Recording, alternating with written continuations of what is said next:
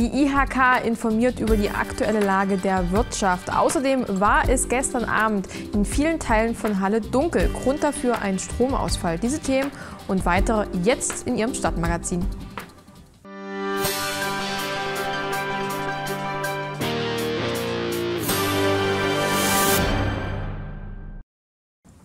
Und hier sind wir wieder für Sie, liebe Zuschauer und Zuschauerinnen, mit einer neuen Ausgabe von Ihrem Stadtmagazin Hallo Halle. Viele Unternehmen in Sachsen-Anhalt stecken aktuell in der Krise. Die wirtschaftliche Situation sieht bei den meisten nicht rosig aus und Grund dafür sind unter anderem der Ukraine-Krieg und die Energiepreise. Die Industrie- und Handelskammern befragen regelmäßig Unternehmen, wie sie denn die Lage überhaupt dazu einschätzen. Und die letzte Umfrage ist erst einige Tage her. So viel sei vorweg gesagt, das Ergebnis schaut nicht gut aus. Christian Katlowitz hat alle Zahlen, Daten und Fakten für uns einzeln zusammengefasst. Viel Grund zur Freude gab es heute nicht auf der gemeinsamen Pressekonferenz der Industrie- und Handelskammern in Sachsen-Anhalt. Die Konjunkturbilanz für 2022 stand an und die Gesichter passten irgendwie zur Stimmung in der Wirtschaft. Erst der Braunkohleausstieg, dann Corona, jetzt der Ukraine-Krieg. Drei Krisen, die die Wirtschaft der Region dauerhaft belasten. Wenn man dann drei solche Krisen in dieser Folge in relativ historisch kurzer Zeit hintereinander zu bewältigen hat, dann ist die Stimmung in der Unternehmerschaft im Keller. Und damit hatte IHK-Präsident Keitel noch leicht untertrieben. Der Geschäftsklimaindex, er spiegelt die allgemeine wirtschaftliche Stimmung wider, sank im letzten Herbst auf den niedrigsten Stand seit drei Jahrzehnten. Die Unternehmerschaft ist sehr, sehr skeptisch, was die Zukunft betrifft.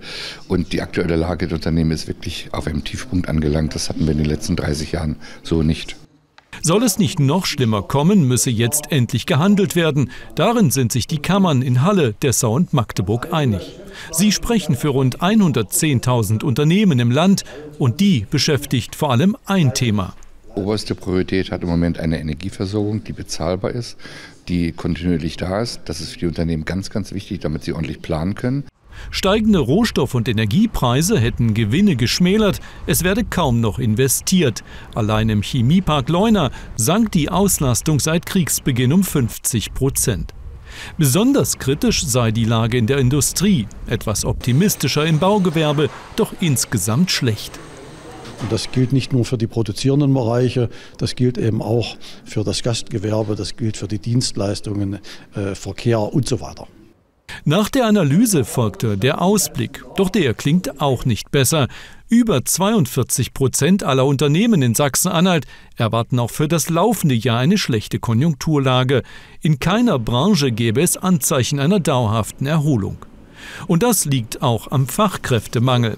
Sachsen-Anhalt wird bis 2040 rund 170.000 Arbeitskräfte verlieren. Wir verlieren in den nächsten Jahren Hunderttausende an Menschen, die in die Rente gehen. Die Boomer-Generation geht wirklich in die Rente und uns fehlen Mitarbeiter in den Unternehmen und zwar in allen Bereichen, auf allen Ebenen, die ersetzt werden müssen. Und logischerweise, wir brauchen viele, viele Menschen aus dem Ausland. Und zwar Menschen, die wir für die Wirtschaft gebrauchen können, die dann wirklich zuziehen zu uns, die wir auch wirklich hier brauchen, die entsprechenden Leute und nicht die, die einfach zu uns kommen und gerne hier leben möchten. Auch die nach wie vor schleppende Digitalisierung im Land verhindere einen Aufschwung. Die Ausbauquote für schnelles Internet in Sachsen-Anhalt beträgt gerade mal 33 Prozent.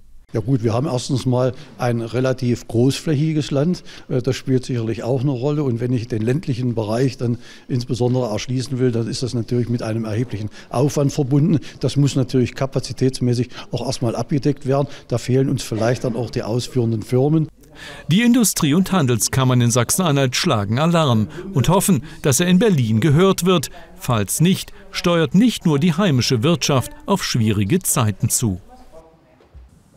Ja, liebe Zuschauer, liebe Zuschauerinnen, am Wochenende ist wieder einiges los. Am Samstag findet in der SWH Arena die Jobmesse statt und am Sonntag spielt in der Arena der Gieserleins MBC. Außerdem finden die magischen Lichterwelten nur noch bis zum 25.02. im Bergzoo statt. Da lohnt es sich also, nochmal einen Besuch abzustatten. Und nun haben wir für Sie weitere Nachrichten im Überblick, unter anderem zum gestrigen Stromausfall in Halle.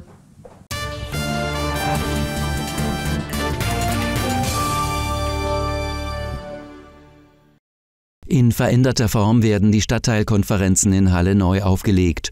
Unter dem Titel Einwohnerdialog soll das Format aller drei Monate stattfinden.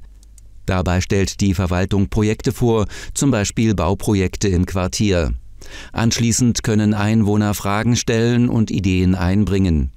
Start der von Bürgermeister Geier moderierten Veranstaltung ist am 15. März in der Gemeinschaftsschule Heinrich Heine. Dort, wo regulär die Linie 8 fährt, bewegt sich am kommenden Montag ein anderer Zug. Die Karnevalisten bringen den Fahrplan durcheinander. Von der Burgstraße über Mühlweg und Geiststraße bis zum Markt ist von 10 bis 16 Uhr mit Beeinträchtigungen zu rechnen. Die betroffenen Linien werden operativ umgeleitet. Details gibt es fortlaufend über die Informationssysteme und per App.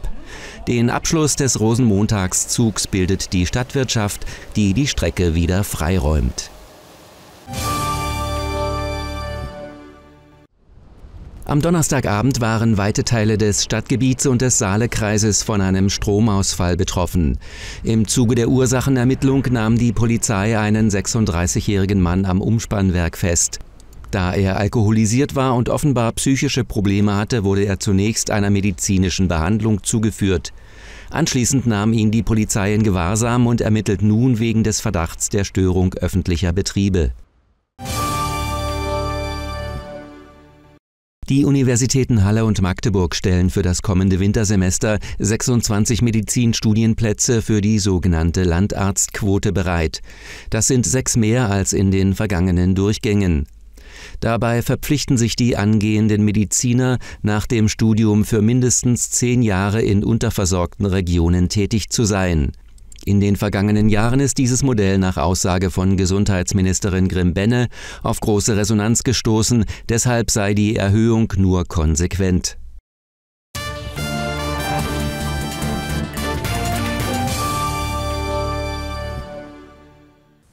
Und nun gehen wir ganz kurz in die Werbung und danach schauen wir auf die Wetteraussicht für das Wochenende.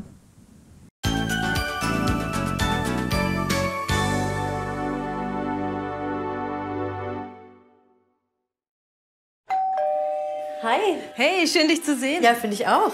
Wie geht's? Gut. Und euch? Habt ihr euch schon eingelebt? Ja, total. Frank ist super glücklich mit seinem neuen Hobbyzimmer. Was macht er denn gerade? Ach, der bastelt irgend so ein Schiff. Was denn für ein Schiff? Das weiß ich gerade gar nicht. Warte mal kurz. Frank! Wie heißt das Schiff nochmal? Titanic. Mehr Raum für deine Ideen. Hallische Wohnungsgenossenschaft Freiheit.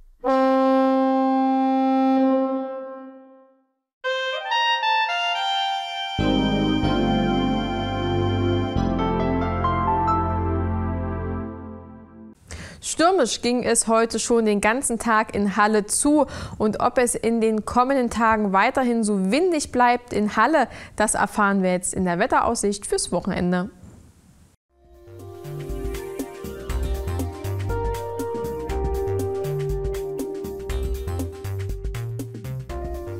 Ein durchweg grauer Samstag beschert uns lediglich die Abwechslung zwischen Regen und Schauern.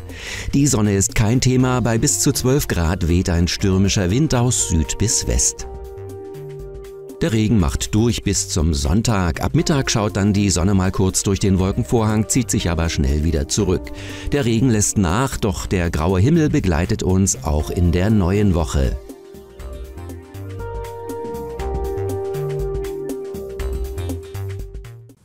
Das war's schon wieder für heute. Das war unser Stadtmagazin Hallo Halle. Und heute ist übrigens in Neuseeland und den USA Tag der spontanen Nettigkeiten. Ich denke, das darf man auch hier immer wieder gerne gegenüber seinen Mitmenschen sein. Immer nett und freundlich. In dem Sinne ein angenehmes und erholsames Wochenende liebe Zuschauer. Machen Sie es gut. Tschüss.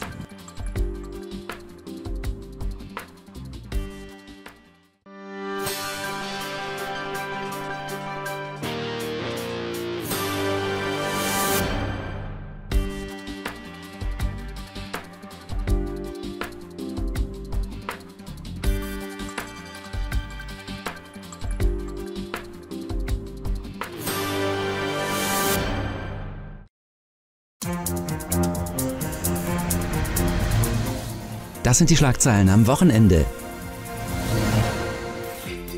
Streit. Druck auf Linksfraktion steigt. Stromausfall. Lauter Knall am Umspannwerk. Kuchenbazar. Erlös geht an Erdbebenopfer.